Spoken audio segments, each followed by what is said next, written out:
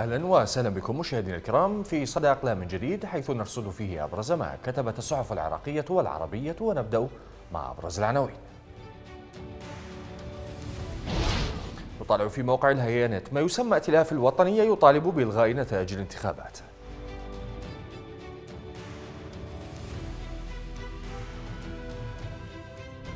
اشرف المدى أكثر من 50% يقاطعون الاقتراع. اعتراضات قوية هددت بتأجيل إعلان نتائج الانتخابات.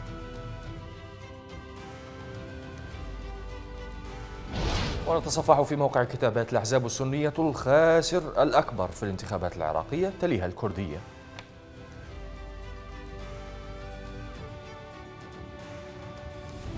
وفي الجزيرة نقرأ الفلسطينيون يستعدون لذكرى النكبة ومليونية العودة.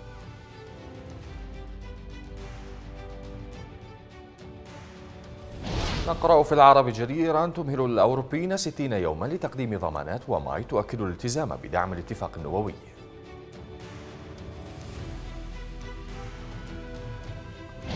ونتصفح في القدس العربي الرئيس السوداني يجري تعديلا في الحكومة ويعفي 13 وزيرا وعشرة ولاة. وفي الحياة نقرأ أخيرا وليس آخرا اتهامات وشكوك قبل نتائج انتخابات العراق علاوي لإلغائها وقوى كردية غاضبة من تزوير.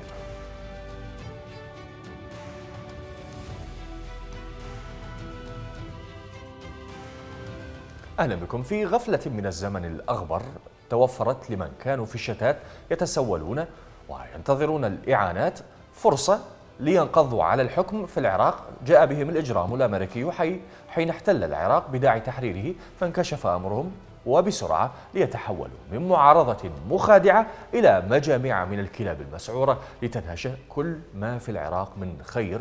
فأحالوه إلى خراب مستعينين ومنفذين لأوامر أسيادهم في إيران وأمريكا وبريطانيا. هكذا كتب علي الزيادي في موقع كتاباته.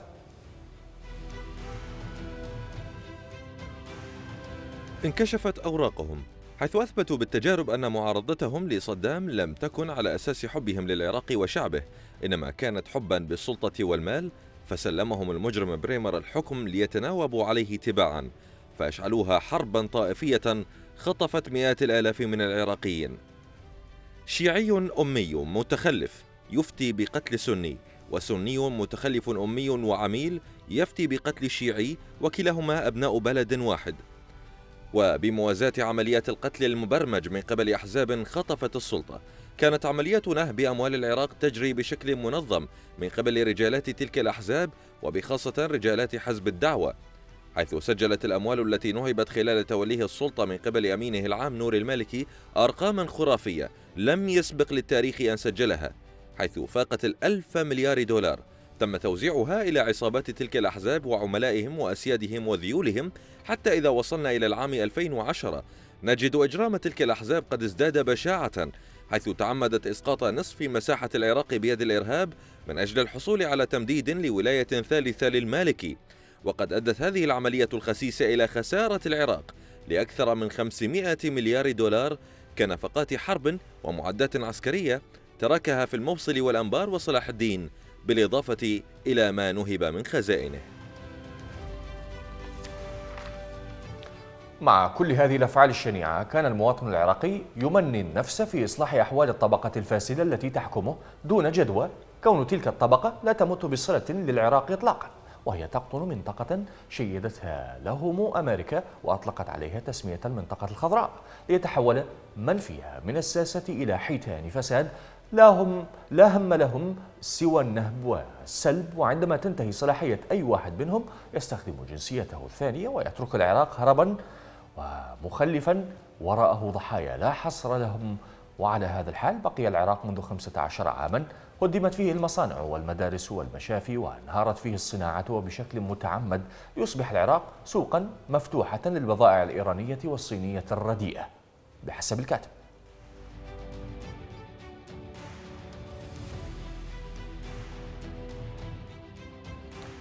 لا تشير النتائج الأولية للانتخابات العراقية إلى فوز ساحق لكتلة سياسية أمام الكتل الأخرى. فهي متقاربة نسبيا مع القوائم الكبيرة المتنافسة. دولة القانون والنصر والفتح والوطنية والسائرون والحكمة والقرار في الجانب العربي إلى جانب حصيلة الأكراد التي ستتقدم فيها قائمة حزب مسعود البرزاني يليه الاتحاد الوطني الذي تشتتت أصواته وذهبت إلى منشق برهم صالح فيما تتوزع الأصوات المتبقية في جميع أنحاء العراق إلى القوائم المدنية وقوائم الأقليات عن المستقبل الذي ينتظر العراق بعد الانتخابات كتب ماجد السامرائي في صحيفة العرب اللندنية. ولعل من بين أسباب إحجام العراقيين عن الانتخابات إضافة إلى الجانب التقني طبيعة القانون الانتخابي الذي يكرس هيمنة الأحزاب الكبرى وكذلك تشكيلة الهيئة العليا للانتخابات التي يمثل أعضاؤها تلك الأحزاب حيث وجهت إجراءاتها بما يخدم غايات الأحزاب التي تواليها لكن موقف المواطن العراقي كان بمثابة معاقبة المتزعمين للعملية السياسية عن طريق خيار المقاطعة وهو الخيار الذي استفادت منه بعض القوى الشيعية النافذة. لم يكن هم زعامات القوى السياسية المتنافسة داخل البيت الشيعي أو خارجه النتائج الحالية للانتخابات لأنهم وضعوا تقديرات لها تشير إلى تقارب بين المقاعد معروف سلفا وأن إضافة قائمة جديدة الفتح الممثلة للحشد الشعبي ستشتت الأصوات الشيعية أكثر مما آلت إليه من تشتت قائمة حزب الدعوة. لذلك المهم لدى هؤلاء هو تصدر الحكومة المقبلة. الآمال ضئيلة من أن دخول الجيل الشبابي المستفيد من التجربة المرة للزعامات الفاسدة قادر على قمعها داخل البرلمان الجديد وهو أمل سيصطدم مرة أخرى بنفوذ رؤوس فساد كبيرة. ويضيف الكاتب وإذا ما حصل العبادي صاحب الفرص الكثيرة على الولاية الثانية وهو أمر متوقع.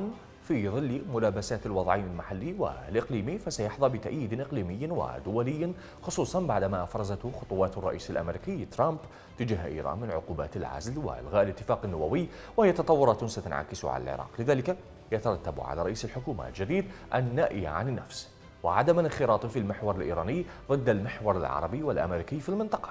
ومهما حاول المسؤول العراقي الجديد أن ينتهج سياسة معتدلة وعدم الانحياز إلى محور لصالح محور آخر إلا أنه سيصل سيصل في النهاية إلى مرحلة الخيار الصعب والشجاع الذي يستوجب مواجهة التأثير الإيراني على القرار العراقي.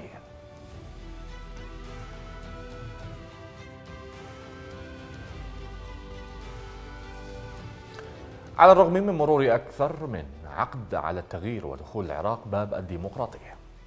إلا أن ديمقراطية العراق هذه لا زالت ناقصة لا ترتقي إلى مستوى الديمقراطيات في العالم المتمدن ولا زالت في طور التكوين في ظروف صعبة ومخاطر تحيط بها جعلتها لا تعطي ثمارها الناضجة المطلوبة. وأن وأن تحسن حالها لا زال من الأمور صعبة المنال دون أي تطور يذكر. على الرغم من تلهف المواطن العراقي للديمقراطية ولكن ما زال الطريق أمامه طويل بحسب الكاتب عبد الكاظم محمد حسون في مقال بصحيفة الزمان العراقية. الديمقراطية الحالية العراقية أصبح لها معنى آخر هو حكم الأقلية تحت غطاء الديمقراطية. حيث هيمن بعض ممثلي الأحزاب المتنفذة ذات الطابع الديني والقومي على مقاليد الحكم والنفوذ ووجدت لها في الدين والقومية وسيلة لكسب رأي الشارع وكسب عاطفته دون أن يجد هذا الشارع أي تحسن في مستواه المعيشي أو الخدمي. فأصبح يختار الشخصيات السياسية من خلال هذا الجانب وهو جانب الانتماء إلى هذا المذهب أو ذاك أو هذه القومية أو تلك. دون الاهتمام في البرامج أو المنجزات لتلك الشخصيات على الصعيد العملي أو الأحزاب المنتمين لها. فبقي البلد والشعب يراوح مكانه دون أن نجد أي تحسن في بنائه أو ربما التراجع نحو الخلف لتعرضه إلى أزمات جعلته متأخرا في أكثر من جانب كأزمة ظهور داعش ومحاربتها وما رافق ذلك من تخريب لمدن كاملة وتهجير أهلها أو استفحال ظاهرة الفساد بأنواعه. إن الشعب أصبح في حيرة من أمره. لكثرة المرشحين دون أن آه، تجد أي برنامج انتخابي واضح لأحدهم غير نشر اسمه وصورته ورقم قائمته حيث أصبح الشارع العراقي كمعرض فني تعرض فيه صور وأسماء المرشحين من كلا الجنسين دون أن تجد آه، هدفا لهم واحدا على الأقل أو برنامجا لهم الذي يعملون عليه بعد الفوز وما هي أسباب ترشيحهم لأنفسهم لخوض تلك الانتخابات غير تحقيق المنافع الشخصية والوصول إلى الامتيازات الكبيرة والكثير التي هي من حصة البرلمانية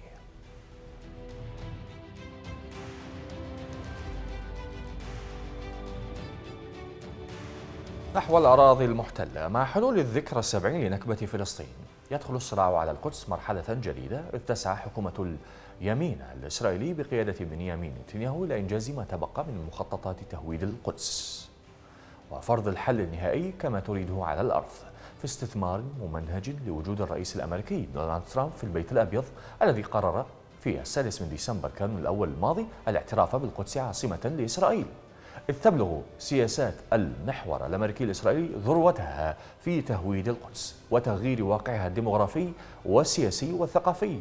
تكون قد بدأت مرحلة الحصاد والنهايات والنهايات في عملية في عملية مدروسة بدقة من إدارة الصراع مع الطرف الرسمي الفلسطيني العربي الذي يكاد يخرج خالي الوفاض تماما.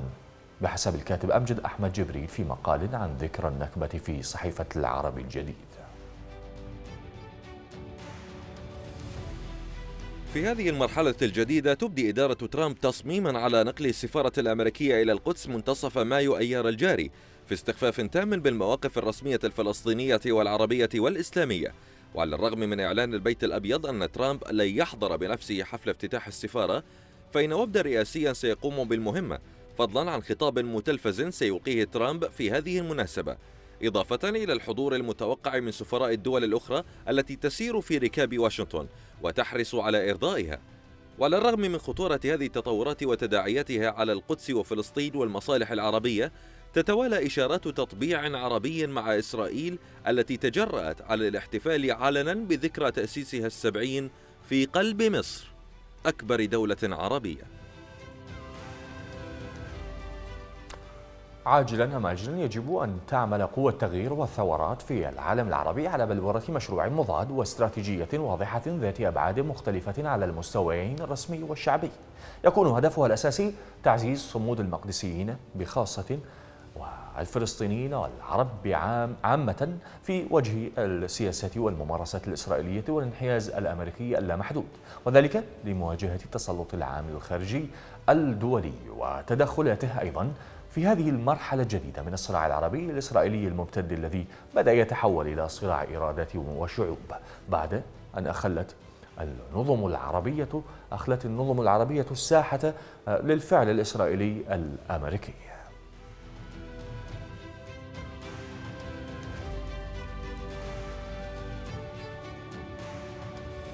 انطلقت مسيرات العودة الكبرى في ظروف انسداد سياسي واقتصادي غير مسبوق. ومساع حثيثة على صعيد مشروع تصفية القضية الفلسطينية ولغة بعض أطراف الإقليم تجاهها مع فتح أبواب تطبيع معيبة مع الاحتلال الإسرائيلي. كما جاءت مسيرات العودة في أجواء مسارعة. الرئيس الأمريكي دونالد ترامب سارع الخطى في صفقته لشطب القدس وإلغاء حق العودة وضم الضفة الغربية وحصار آه، قطاع غزة حتى تركع لمشروع بنيامين نتنياهو اليميني عن مستقبل هذه المسيرات كتب محمد إبراهيم المدهون في موقع جزيرة نت. تمضي مسيرات العودة بتصاعد لافت وروح ثورية شبابية عالية لكن الحذر مطلوب حتى لا تتراجع المسيرات عن مستوى حضورها وتأثيرها. وذلك باستعجال النتائج والشعور بفقدانها مبكرا فضلا عن عدم تشكيلها تهديدا للاحتلال وتحولها إلى حالة رتابة خاضعة للإدارة المنتظمة. يضاف إلى ذلك تأثير ذلك على استطاعة غزة الضغط على الاحتلال لتحقيق إنجاز لصالح رفع الحصار. أو تأثيرها في إيقاظ الضمير الفلسطيني الجمعي بحق العودة وما قد يسببه ذلك من خفوت للحالة الشعبية وفقدان لدافعية المواصلة والديمومة التي تمثل الروح المؤسس عليها الرهان. الاحتلال مرتبك في علاقته بمسيرات العودة وتبدو الصورة عنده غير ناضجة بشأن السبيل الأمثل للتعامل مع الجماهير الثائرة على حدود القطاع في إحياء لمشهد 1948 بعد مرور سبعين سنة على النكبة. وقد تستهوي الاحتلال لعبة شراء الوقت حتى ساعة الصفر والذهاب في اتجاه الإرباك الأخير بحدث أمني كبير أو إرباك وطني داخلي أو بفعل سياسي يحدث حالة تردد للقوى الوطنية في قيادة مسيرة العودة. المشهد لا يكتمل دون قراءة الساحات الأخرى ومستوى الحراك فيها ودرجة تأثيره. وإذا التحمت الجماهير في الضفة مع جيش الاحتلال في نقاط اشتباك متعددة فقد يمثل صباح الخامس عشر من مايو أيار إعادة إحياء شعبي باشتباك بطولي فردي كانتفاضة القدس فضلا عن تأثير مشهد التصعيد في الجهة الشمالية لفلسطين المحتلة ولله الأمر من قبل ومن بعد.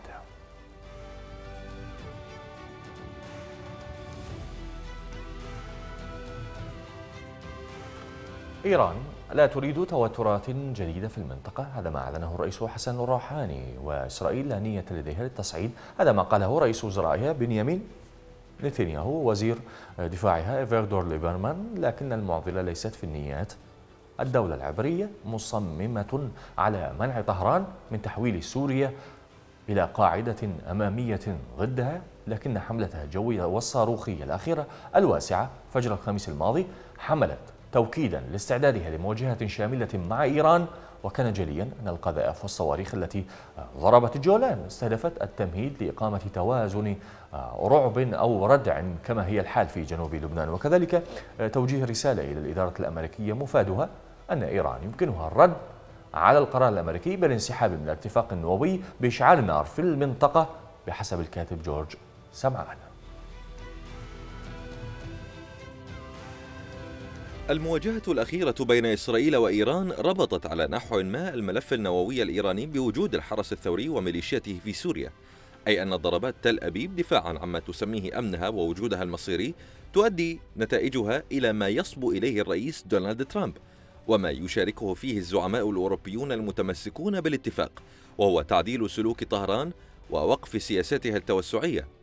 وبقدر ما تجمع كل هذه الظروف على تقليص نفوذها لدفعها إلى هذا التعديل ترتفع حدة السجال بين التيارات الإيرانية وتتسع الهوة بين مواقفها المختلفة ففي حين تعبر حكومة الرئيس روحاني عن رغبتها في عدم التصعيد مع إسرائيل وفي الاستعداد للبحث مع أوروبيين في سبل المحافظة على الاتفاق النووي تعبر قوى التشدد وعلى رأسها المرشد علي خامنئي عن انعدام ثقتها بفرنسا وألمانيا وبريطانيا وتشكك في قدرة هذه الدول على مواجهة إدارة ترامب وعزمها على فرض العقوبات على الشركات التي تتعامل مع الجمهورية الإسلامية.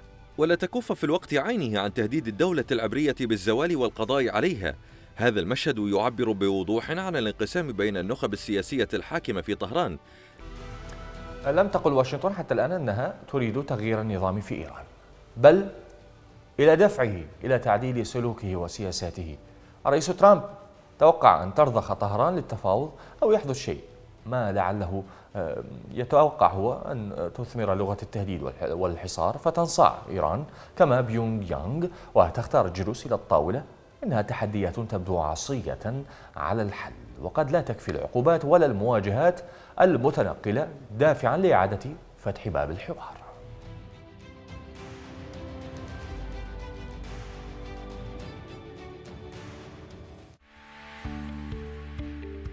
مشاهدي قناة الرافدين الكرام يمكنكم متابعة بثنا عبر القمر الصناعي سهيل سات على التردد 11142 عمودي وعبر القمر الصناعي نايل سات على تردد 1238 أفقي.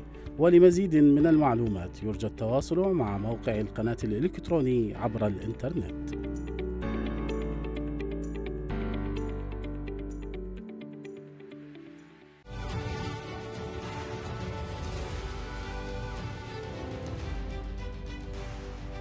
بعيدا كل البعد عن السياسة أظهرت دراسة أمريكية حديثة أن فيتامين بي يلعب دورا في حماية الخلايا التي تنتج الأنسولين بالبنكرياس من التلف. وأجرى الدراسة باحثون في معهد سولك للدراسات البيولوجية بولاية كاليفورنيا الأمريكية ونشرت في دورية Cell العلمية. وقال وخلايا عفوا بيتا هي خلايا البنكرياس التي تنتج وتطلق هرمون الإنسولين وعندما تتعرض للتلف لا يستطيع الجسم أن يضخ. الإنسولين للسيطرة على نسبة السكر في الدم مما يقوده للسكري حفظنا الله. اكتشف الفريق في دراسة أجريت على الفئران أن فيتامين دي مفيد في علاج خلايا بيتا التالفة وإعادتها إلى مستوياتها الطبيعية مما قد يقدم رؤية جديدة بشأن تطوير علاجات فعالة للسكري.